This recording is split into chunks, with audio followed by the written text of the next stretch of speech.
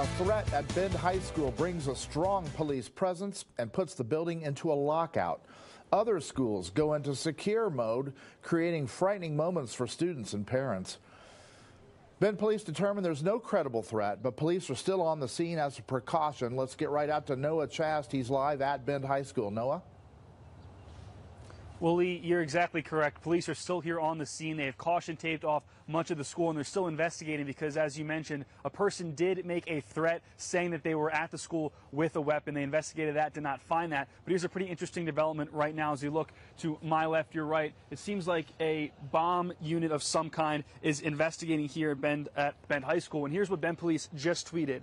They said, heads up, an unattended bag was located on the exterior grounds of Bend High, and Bend Police have asked OSP's explosive disposal unit to examine it out of an abundance of caution. The area has been cordoned off. The unit is on scene. We'll update that as soon as possible. So that's what's going on right now. But in terms of the uh, the threat earlier today, a call was made around 1:30 with Bend Police responding in minutes. They searched the area for roughly an hour, deciding there was no credible threat. Students inside were placed in a secure mode, or what can be referred to as a lockout, meaning there was no threat inside the building, but students were kept in their classrooms or locker rooms.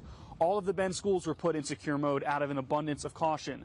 For the Bend students and parents, the whole situation was alarming, knowing something was happening, but not being sure exactly what. We're gonna go into a secure. Everyone was like, oh, that's a little weird because like we didn't think anything was on the schedule for like a drill. Shortly after, my 17 year old texted me and said, hey, just heads up, we're safe. We're in the locker room, the teachers locked the doors, police are going through the school with guns. We saw on social media that some people were like posting like the police vehicles and stuff. I was driving, so I parked and I was just worried, nervous. Told her, make sure, keep the doors locked, text her back, said, keep the doors locked, stay safe, you know. Oof. And so we kind of just stayed in the classroom that we were in until they told us that we were out of it. But um, it was kind of weird, I guess, because people didn't really know what was going on, but we knew we were safe. And around 2:15, police deemed there was no active threat, and the school was cleared to continue as usual and allow students to leave.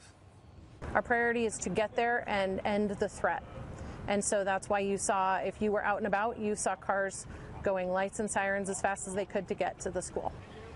And Bend Police is currently still investigating the threat and seeing who made that. And they're trying to find out who that number was from, if it was a real number or if it was a fake number. And actually, right behind me just now at the moment, they're taking down the caution tape in that area where they were investigating with what I believe to be their bomb disposal unit and around the entire school, actually. So I guess whatever threat that possibly they were looking for, they've deemed it clear. That's not official yet at the moment, but they are taking down the caution tape around the school and around the areas where they were investigating. So we'll have more updates to this as they come in in terms of what's happening at the school. But our latest update is that there is no active shooting or weapon threat, and they're taking down the caution tape here at Bend High.